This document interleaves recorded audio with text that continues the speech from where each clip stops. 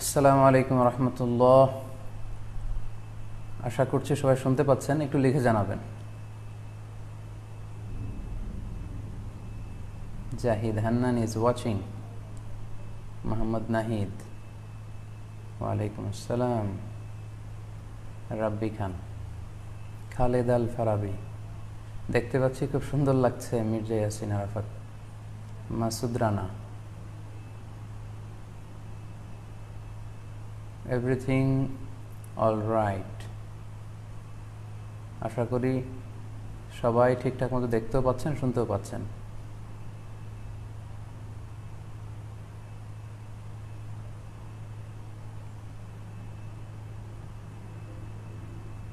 জি, শুনতেছি। আচ্ছা তাহলে আশা করি সব কিছু ঠিক আছে। আমরা শুরু করি তাহলে। আসসালামু আলাইকুম রহমতুল্লাহ। نحمده ونصلي على رسوله الكريم. أما بعد فأعوذ بالله من الشيطان الرجيم. بسم الله الرحمن الرحيم. لن ينال الله لحومها ولا دماؤها ولكن يناله التقوى منكم. صدق الله العظيم. اللهم صل على محمد وعلى آل محمد كما صليت على إبراهيم وعلى آل إبراهيم إنك حميد مجيد. اللهم بارك على محمد وعلى آل محمد كما باركت على إبراهيم وعلى آل إبراهيم إنك حميد مجيد কাছে দূরে যে যেখান থেকে আজকের এই লাইভ প্রোগ্রামটিতে আপনারা যুক্ত হয়েছেন যারা দেখছেন এবং শুনছেন এবং যারা পরবর্তীতে লাইভ প্রোগ্রামটিতে যুক্ত হবেন আপনাদের সবাইকে জানাচ্ছি আন্তরিক শুভেচ্ছা এবং অভিনন্দন আহলান ওয়া সাহলান ওয়া মারহাবান বিকুম ফিহাদ আল লিকা আত তৈয়ব আল মুবারক আশা করছি আল্লাহ তাল্লাহর অশেষ মেহরবানিতে আপনারা সবাই ভালো আছেন, সুস্থ আছেন। কামনা করি এবং দোয়া করি আল্লাহ তালা আপনাদেরকে ভালো রাখুক, সুস্থ রাখুক। সব ধরনের বিপদ থেকে আল্লাহ তালা আপনাদেরকে সেফ রাখুক, নিরাপদে রাখুক। শুরুতে আমরা আল্লাহ রাবুল ইজাওয়াল জালালের দরবারে সুক্রিয়া জানাই যে আল্লাহ তালা আজকে আমাদেরকে লাইভটি শুরু করবার তফিক এনায়ত করেছেন এবং রব্বুল ইজাওয়াল জালালের দরবারে অসংখ্য শুক্রিয়া জানাচ্ছি। এজন্য যে আল্লাহ তালা আমাদেরকে দুল হিজ্জা জিলহজ মাসে উপনীত হওয়ার তৌফিক এনায়ত করেছেন। আমরা আজকে মালয়েশিয়াতে অলরেডি জিলহজ শুরু করে ফেলেছি এবং আমরা জানি যে এই জিলহজের প্রথম দশক মানে প্রথম দশটি দিন খুবই গুরুত্বপূর্ণ দশটি দিন। আল্লাহ তালার কাছে খুবই পছন্দনীয় এই দশ দিনের আমলগুলো, এমনকি জেহাদের চাইতেও বেশি হাদিসে এসেছে। এবং কালামুল্লাহ মাজিদে আল কোরআন আল করিম আল্লাহ তালা এই জিল হজের প্রথম দশ দিনের শপথ করেছেন। এই দশ দিনের এবাদত আল্লাহ তালার কাছে এত বেশি পছন্দনীয় হওয়ার কারণ হচ্ছে, এই দশ দিনে আল্লাহ তালা উম্মাহাতুল এবাদাত অর্থাৎ যত মৌলিক আবাদত আছে, সবগুলো মৌলিক আবাদতের একটা সমন্বয় করেছেন জিলহজ মাসের এই প্রথম দশ দিনে, যেটা বছরের অন্য কোনো সময় কিন্তু পাওয়া যায় না। কারণ এই দশ দিনের ভেতরে সালাত আছে, নফল সিয়াম আছে, সাদাকা আছে কুরবানি আছে, হজের প্রসঙ্গটা আছে, যেটা বছরের অন্য কখনো এরকম উম্মাহাতুল আবাদত অর্থাৎ যত মৌলিক আবাদত আছে, সব মৌলিক আবাদতের কম্বিনেশন সমন্বয় বছরের কোনো সময় কিন্তু আসলে হয় না। যেটা হয়ে থাকে জিলহজ মাসের প্রথম, এই দশ দিনের ভেতর। এজন্য এই দশ দিনের এবাদত আল্লাহ তালার কাছে অত্যন্ত বেশি প্রিয়। এজন্য আল্লাহ রাসুল সাল আলি আসাল্লাম এই দশ দিনে যাতে আমরা বেশি বেশি নফল এবাদত করি, আমাদেরকে উৎসাহিত করেছেন। পাশাপাশি আমরা যেন বেশি বেশি তাহমিদ, তাহলিল, তাকবীর দিয়ে এই দশটি দিনকে মুখরিত করে রাখি, এজন্য তিনি আমাদেরকে আদেশ করেছেন। এজন্য এই দশটি দিনে আমরা যেন বেশি বেশি সুবহান আল্লাহ আলহামদুলিল্লাহ ইলাহা ইল্লাহ আল্লাহ আকবর, এই আজকারগুলো যেন আমরা বেশি বেশি পড়ি। এবং আরাফাতের সিয়ামের ব্যাপারে আল্লাহ রাসুলসাহ ইসলাম আশা করেছেন যে নয় জিল হজের যে নফল সিয়ামটি, অর্থাৎ আরাফার রোজা, এই আরাফার রোজা যে ব্যক্তি রাখবে, আল্লাহ রাসুলসাহ ইসলাম বলেন যে, আমি প্রত্যাশা করি এই সিয়ামের বদৌলতে বিগত একটি বছরের এবং সামনের একটি বছরের যত পাপ হবে, এই পাপগুলোকে আল্লাহ তালা আমাদের জন্য ক্ষমা করে দিবেন। এবং জিলহজের নয় তারিখ ফজর থেকে কিন্তু আমাদেরকে ওয়াজিব তাকবির পাঠ করতে হয়। আমরা জানি সেটা শুরু হয় আরাফার দিন ফজর থেকে নয় তারিখ ফজর থেকে শুরু করে ১৩ তারিখ আসর পর্যন্ত এই তাকবিরগুলো প্রত্যেক সালাতের পরে পড়া আমাদের জন্য আবশ্যক। আমরা যেন এই নফল আজকারগুলো, এই নফল তাকবিরগুলো যাতে আমরা বেশি বেশি করে দেই। এবং যারা কুরবানি করার জন্য ইচ্ছা পোষণ করেছেন, তারা যেন এই দশ দিনের আগেই তাদের মাথার চুল এবং নখ কেটে পরিচ্ছন্ন হয়ে যান। এবং জিলহজের এই দশ দিনে তারা যাতে মাথার চুল না কাটে এবং হাতের নখ না কাটে, এ মর্মে আল্লাহ রাসুসাহ ইসলাম আমাদেরকে গাইডলাইন দিয়েছেন। সব মিলে আল্লাহ তালার কাছে এই দশটি দিনের আবাদত খুবই প্রিয়, এমনকি হাদিসে এসেছে যেটা আমরা বললাম যে জেহাদের চাইতেও বেশি প্রিয়। এজন্য এই সুবর্ণ সুযোগটুকুন যেন আমরা কখনোই মিস না করি। তাই আমাদের সাধ্যমতো আমরা যেন বেশি বেশি নফল আবাদত করি। আমরা যেন সুযোগ হলে পুরো দশ দিন ব্যাপী আমরা চাইলে নফল সিয়াম রাখতে পারি। আমরা বেশি বেশি কোরআন তালাওয়াত করতে পারি, বিশেষ করে তাহমিদ, তাহলিল এবং তাকবীর, আলহামদুলিল্লাহ আল্লাহ ইলাহা ইল্লাল্লাহ, আল্লাহ আকবার, এই জিকিরগুলো, এই আসকারগুলো পড়ে পড়ে যেন আমরা এই দশটি দিনকে মুখরিত রাখি। আল্লাহ তালা জিলহজ মাসের যে মাহাত্ম এবং বারাকা তিনি আমাদের জন্য দিয়েছেন, এগুলো যেন আমরা বেশি বেশি হাসিল করতে পারি। আমিন ইয়ারব্বাল আলমিন। সম্মানিত দর্শক ও শ্রোতাবৃন্দ, ইতিমধ্যে আমাদের এই লাইভ প্রোগ্রামটিতে প্রায় চব্বিশ হাজার দিনী ভাই বোন যুক্ত হয়েছেন। আপনারা একটু দেরি করে যারা যুক্ত হয়েছেন, তাদেরকে আবারও আন্তরিক শুভেচ্ছা জানাই। Abdullal Roman Rose TV channel twenty four থেকে শুভেচ্ছা জানিয়েছে। আমরা শুনেছি যে রোমান অসুস্থ, আল্লাহ তাল্লাহ রোমানকে সুস্থ করে দিক, আমরা দোয়া করি। এবং আজকের লাইভের যে ঘোষণাটি আমরা দিয়েছিলাম, সেখানে অনেক দিনই ভাই বোনেরা বাংলাদেশের একজন প্রথিত যশা ইসলামী সংগীত শিল্পী শিল্পী মশিউর রহমান ভাই ওনার করোনা পজিটিভ রিপোর্ট এসেছে। সবাই ওনার জন্য দোয়া চেয়েছেন। আসলে মানুষ তার চমৎকার চমৎকার ইসলামী সঙ্গীতের মধ্য দিয়ে যে শ্রোতাদের হৃদয়ে বেঁচে থাকে, এটার একটা প্রমাণ। আমাদের মশিউর ভাই অসাধারণ দরাজ গলায় খুব চমৎকার ইসলামী সংগীত পরিবেশন করেন। আমি নিজেও তার ইসলামী সঙ্গীতগুলো খুব পছন্দ করি। সবাই ওনার জন্য দোয়া চেয়েছেন। তো আজকের এই লাইভের শুরুতেই আমি আমাদের সকলের প্রিয় শিল্পী মশিউর রহমান ভাইয়ের জন্য দোয়া করি। আল্লাহ তালা আমাদের প্রিয় ভাইকে দ্রুত শেফায় কামেলা আজলা নাসিব করুক। যারাই পৃথিবীর যে প্রান্ত থেকে এই ভয়াবহ করোনা মহামারীতে আক্রান্ত হয়ে অসুস্থ অবস্থায় আছেন, আমরা সবার জন্য দোয়া করি, আল্লাহ তালা সবাইকে খুব দ্রুত শিফায় কামেলা নসিব করুক। সম্মানিত শুধুই আমি রিকোয়েস্ট করব আপনারা এই লাইভটি শেয়ার করে দিবেন, যাতে করে আপনাদের অন্যান্য ফেসবুক বন্ধুরা আজকের লাইভ লাইভের এই আলোচনাটি থেকে উপকৃত হতে পারে। আমরা আজকে কুরবানি নিয়ে কিছু কথা শেয়ার করবার চেষ্টা করব ইনশাআল্লাহ। কুরবানির প্রসঙ্গটা আসলেই আমাদের স্মৃতির মানসপটে আমাদের ইব্রাহিম আলহিসাল্লাম এবং ইসমাইল আলহিসাল্লামের যে কুরবানি, ওনাদের যে আত্মত্যাগ, এই দৃশ্যপটটি কিন্তু আমাদের চোখের সামনে ভেসে ওঠে। আমরা জানি যে ইব্রাহিম আলহিসাল্লাম আল্লাহ তালা সন্তুষ্টির জন্য স্বীয় পুত্র ইসমাইল আলহিসাল্লামকে কুরবানি করতে চেয়েছিলেন এবং সেই প্রসঙ্গ থেকেই কিন্তু আমরা প্রতি বছর জিলহজের দশ তারিখে কুরবানি করে থাকি এবং এই দৃশ্যটি আল্লাহ তালার কাছে এতই ভালো লেগেছিল, এই আত্মত্যাগের দৃশ্যকে আল্লাহ তালা স্মরণীয় করে রাখবার জন্য কেয়ামত পর্যন্ত সব বিশ্বাসীদের জন্য এই জিল হজের একই টাইমে জিল হজের দশ তারিখে কুরবানি করাটাকে আল্লাহ তালা আমাদের উপর অবধারিত করে দিয়েছেন। এই বিষয়টি সুরাত সফাতের একশত পাঁচ নম্বর আয়তে আল্লাহ তালা এভাবে এরশাদ করছেন, ফালাম্মা বুনাইয়া তারা। অর্থাৎ ইসমাইল আলাইহিস সালাম যখন একটু বড় হলেন, বাবার সাথে হাঁটতে পারেন দৌড়াদৌড়ি করতে পারেন ঠিক তখন। ইব্রাহিম আলহিসাল্লাম স্বপ্নে দেখলেন যে তিনি ইসমাইল আলহিসাল্লামকে কোরবানি করছেন এবং স্বপ্ন দেখেই তিনি সরাসরি ছেলের সাথে কনসালটেশনে গেলেন, পরামর্শ করলেন যে, বাবা, আমি তো স্বপ্নে দেখেছি যে আমি তোমাকে কুরবানি করছি। ফান্দুর মা দা তরা what do you think about it what's your opinion about it তোমার মতামত কি সেটা তুমি আমাকে বলো। তখন সৈয়দানা ইসমাইল আলহিসাল্লাম অত্যন্ত সাহসিকতার সাথে বলিষ্ঠ একটি জবাব দিয়েছিলেন। সেটাও আল্লাহ তালা কোরআনে সরাসরি কোট করেছেন। তিনি বলেছিলেন খলাইয়া আবা তিফা আল মা তুমার, সাতাজিদুনি ইংশা আল্লাহ সবিরিন। অর্থাৎ, হে আমার সম্মানিত পিতা, আপনি যেমনটি যেমনটি স্বপ্নে দেখেছেন, আল্লাহ তালা আপনাকে যেমন আদেশ করেছে, আপনি ঠিক তেমনটিই করুন। আপনি ভয় পাবেন না। ইনশাআল্লাহ আপনি আমাকে ধৈর্যশীলদের অন্তর্ভুক্ত পাবেন। একটু কি কল্পনা করা যায় যে সৈয়দিন ইসমাইল আলহি সালাম ছোট্ট শিশু, তিনি যখন শুনলেন যে বাবা তাকে কুরবানি করবে, জবাই করবে তার প্রত্যুত্তরে তিনি বলেছিলেন, বাবা, আমি ভয় পাচ্ছি না। আমি আপনাকে নিয়ে চিন্তিত। আপনি ভয় পাবেন না। বরং আপনি যা আদিষ্ট হয়েছেন, আপনি তাই করেন। কারণ নবীরা যখন স্বপ্নে কিছু দেখে, সেটা সাধারণ মানুষের মতো স্বপ্ন নয়, সেটা ওহি, সেটা আল্লাহর পক্ষ থেকে আদেশ। তো আপনি আমাকে ধৈর্যশীল পাবেন। আপনি ভয় পাবেন না। সৈয়দিন ইব্রাহিম আলহিসাল্লাম ইসমাইল আলহিসাল্লামকে কুরবানি করতে শুরু করলেন, জবাই করতে শুরু করলেন। আল্লাহ তালার কাছে দৃশ্যটি এত ভালো লাগল। আল্লাহ তালা সৈয়দনা জিব্রাইল আলহিসাল্লামকে দিয়ে জান্নাত থেকে একটি বকরি বা মেষ পাঠিয়ে দিলেন। সৈয়দনা ইসমাইল আলহিসাল্লামকে ছুরির নিচ থেকে সরিয়ে ফেলা ফেলা হলো।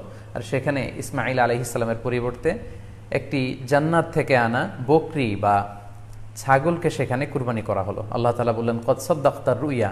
ইব্রাহিম, তুমি তো তোমার স্বপ্নকে সত্যায়ন করেছ, বাস্তবে রূপান্তরিত করেছ। তুমি তো এই কঠিন পরীক্ষায় সফলতার সাথে উত্তীর্ণ হয়েছ। সৈয়দান ইব্রাহিম আলাইসাল্লাম পরীক্ষায় উত্তীর্ণ হলেন। এবং বাবা বাপ বেটার এই দৃশ্যায়নটি আল্লাহ তালার কাছে এত ভালো লেগেছে।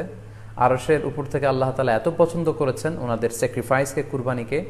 কেয়ামত পর্যন্ত আমরাও যাতে কুরবানি করি, আল্লাহ তালা আমাদের জন্য এটাকে অবধারিত করে দিয়েছেন। সমৃদ্ধ শুধু এখানে আমাদের জন্য সবচেয়ে বড় যে শিক্ষণীয় বিষয়, সেটি হচ্ছে সৈয়দনা ইব্রাহিম আলহিসাল্লামের ঔরসে যখন ইসমাইল আলহিসাল্লাম আসে, তখন তাফসির এসেছে। ইব্রাহিম আলাইসাল্লামের বয়স ছিল ছিয়াশি বছর। কুড ইউ ইমাজিন দ্যাট ছিয়াশি বছর বয়সে যখন একটা সন্তান আল্লাহ তালা ওনাকে দান করলেন, আল্লাহ তালা বললেন যে সেই সন্তানকে তুমি জবাই করো। আমরা অনেক দম্পতির কথা জানি, তাদের সন্তান হয় না। পনেরো বছর ২০ বছর, পঁচিশ বছর পর অনেক সময় তাদের সন্তান হয়। সেই সন্তানটাকে তারা কত পছন্দ করে, সেই বাচ্চাটাকে তারা কত আদর করে। তো ছিয়াশি বছর বয়সে আল্লাহ তালা ইসমাইল আলি সাল্লামকে দান করেছিলেন। এই আদরের সন্তানটাকে আল্লাহ তালা বলেন তুমি কুরবানি করো। কারণ এই বয়স্ক অবস্থা যখন ইব্রাহিম আলাইসাল্লাম ইসমাইল আলাইসাল্লামকে পেয়েছিলেন, তখন তিনি হৃদয়টাকে উজাড় করে দিয়ে নিজের ছেলেটাকে ভালোবাসতে শুরু করলেন এবং হৃদয়ের ভালোবাসার জায়গাটার মধ্যে যে সিংহাসন, সেই সিংহাসনে তিনি ইসমাইলকে বসিয়েছিলেন। আল্লাহ তালা চেয়েছিলেন যে ইসমাইলকে সেখান থেকে সরিয়ে ওই ভালোবাসার সিংহাসনের জায়গাটাতে তুমি যেন আল্লাহ তালাকে স্থান দাও। এবং সেটাই পরীক্ষা তিনি, সেই পরীক্ষাটাই তিনি বেসিকলি সৈয়দান ইব্রাহিম আলাইসালামের কাছ থেকে করেছিলেন এবং সেই পরীক্ষায় সৈয়দান ইব্রাহিম আলাইহিসাল্লাম সফলতার সাথে উত্তীর্ণ হয়েছিলেন। অর্থাৎ আল্লাহ চেয়েছিলেন যে তোমার হৃদয়ের ভালোবাসার সবচাইতে বড় জায়গাটা হচ্ছে ইসমাইলের। তোমার পুরো হৃদয়টা জুড়ে আছে ইসমাইল। আমি চাই তুমি আমার সন্তুষ্টির জন্য এই ইসমাইল, ইসমাইলকে বিলিয়ে দাও, এই ইসমাইলকে কুরবানি করে দাও। সম্মানিত শুধু এই স্টোরিটা থেকে আমাদের জন্য শিক্ষা হচ্ছে যে সৈয়দিনা ইব্রাহিম আলাইসাল্লামের হৃদয়ের সবচাইতে পছন্দনীয় বিষয়টা ছিল ইসমাইল। তিনি ইসমাইল আলাইসাল্লামকে নিজের ছেলেকে বেশি পছন্দ করতেন। ইব্রাহিম আলাইসাল্লামের হৃদয়ে যেমনি ইসমাইল ছিল, আমাদের প্রত্যেকের হৃদয়ে কিন্তু এরকম এক একটা ইসমাইল আছে। কল্পিত ইসমাইল, রূপক ইসমাইল। আমাদের কারও হৃদয়ের ইসমাইল হচ্ছে আমাদের টাকা পয়সা। আমাদের কারও হৃদয়ের ইসমাইল হচ্ছে আমার ব্যাংক ব্যালেন্স। আমাদের কারও হৃদয়ের ইসমাইল হচ্ছে আমার দামি গাড়ি। আমাদের কারও হৃদয়ের ইসমাইল হচ্ছে আমার দামি গাড়ি। আমাদের কারও হৃদয়ের ইসমাইল হচ্ছে আমাদের যশ, খ্যাতি, আমাদের ক্ষমতা, প্রতিপত্তি, এগুলো। আল্লাহ তালা চান আমাদের প্রত্যেকের যার যার হৃদয়ের ইসমাইল যেটা, সেটাকে আমরা আল্লাহ তালার সন্তুষ্টির জন্য উৎসর্গ করতে পারব কিনা। আল্লাহ তালার খুশির জন্য, সেরেফ শুধুমাত্র আল্লাহ তালার জন্য আমার হৃদয়ের ইসমাইলটাকে আমি স্যাক্রিফাইস করতে পারব কিনা। এই শিক্ষাটা দেওয়ার জন্যই বেসিকলি আল্লাহ তালা এই কুরবানিকে আমাদের জন্য প্রেসক্রাইব করেছেন।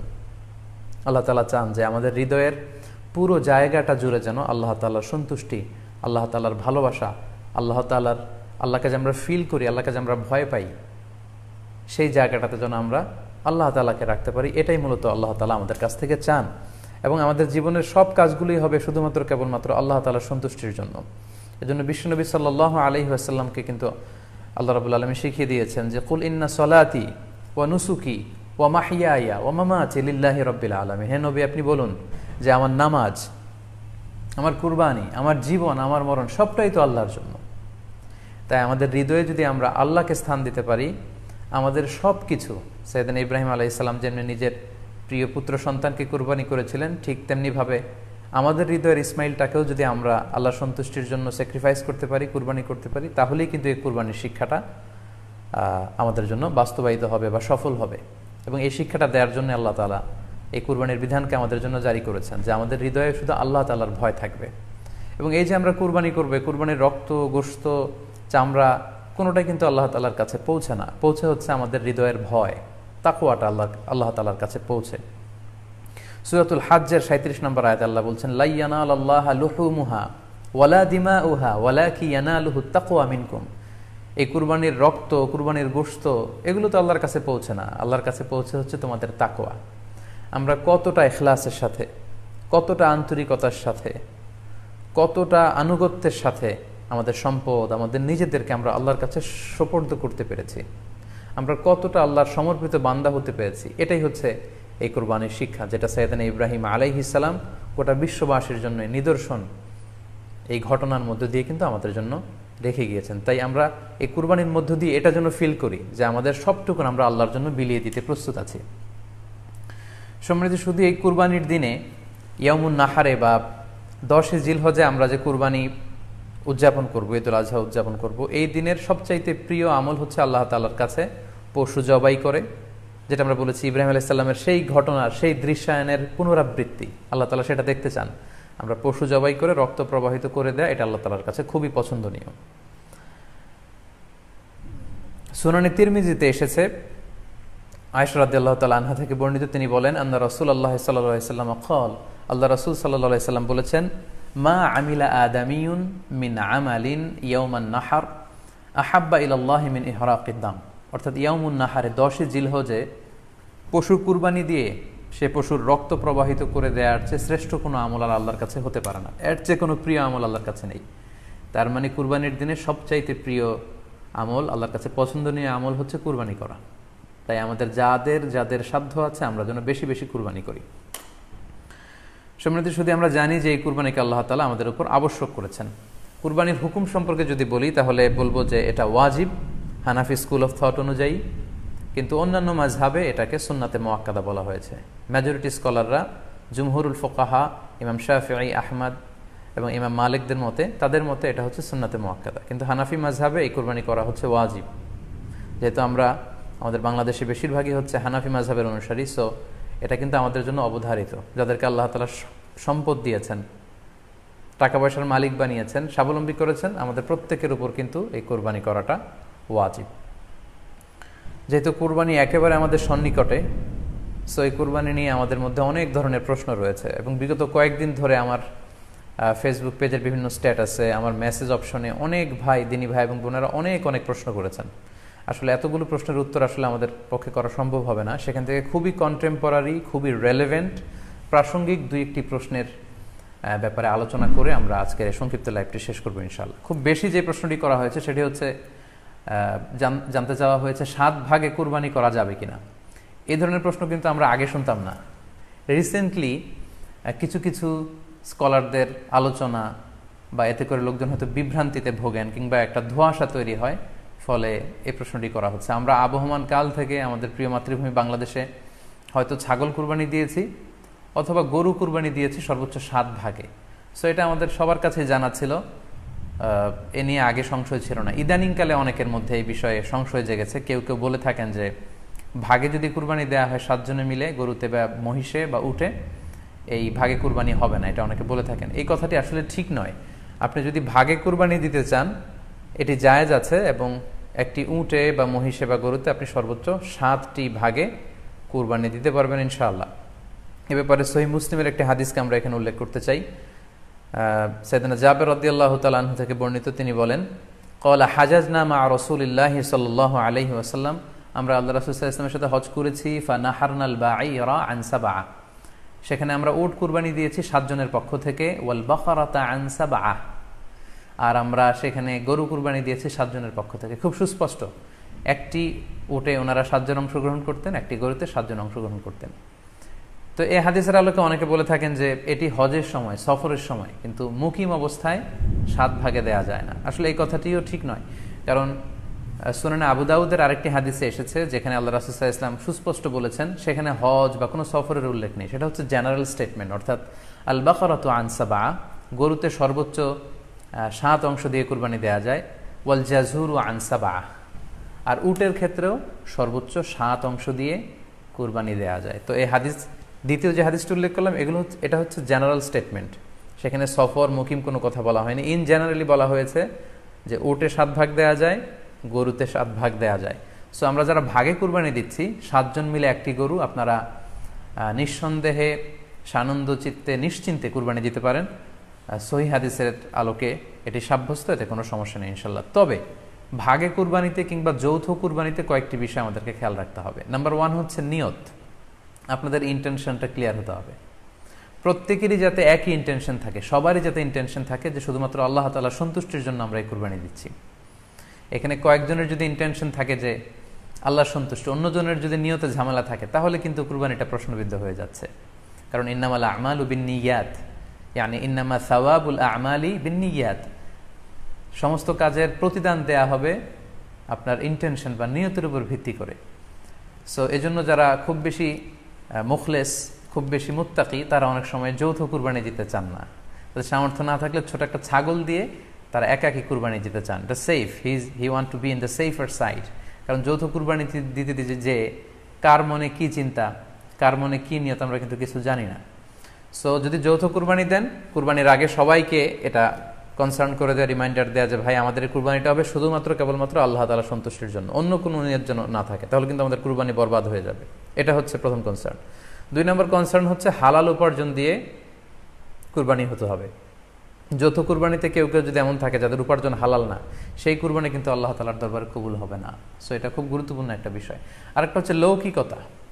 লৌকিকতা যদি থাকে, তাহলেও কুরবানি কবুল হবে না। যৌথ কুরবানিতে কারও যদি এটা থাকে যে আমার গরুটা সবচেয়ে বড়, আমাদের গরুটা এলাকার সবচেয়ে বড় গরু, এবং সবাইকে বলে বেড়াচ্ছে যে এইবারের গরুটা সবচেয়ে বড় হয়েছে আমার চেয়ে বড় গরু কেউ দিতে পারে না এই এলাকায়। তো এই জাতীয় যদি লৌকিকতা প্রবণতা কারোর মধ্যে থাকে, তাহলেও কিন্তু তার কুরবানি কবুল হবে না। সো যৌথ কুরবানি যদি আপনারা দিতে চান, এই বিষয়গুলো আমাদেরকে খেয়াল রাখতে হবে। আরও একটি প্রশ্ন খুব বেশি আমাদের কাছে জানতে চাওয়া হয়েছে, সেটা হচ্ছে, কুরবানির সাথে আকিকা দেয়া যাবে কিনা? খুব বেশি আলোচনা হচ্ছে এই প্রসঙ্গটা যে আকিকার কুরবানির সাথে আকিকা দিয়ে দেয়া যাবে কিনা। এক্ষেত্রে আমরা উত্তরে বলব যে কুরবানি এবং আকিকা, আপনাদের খেয়াল রাখতে হবে যে দুটি ভিন্ন দুটি এবাদত।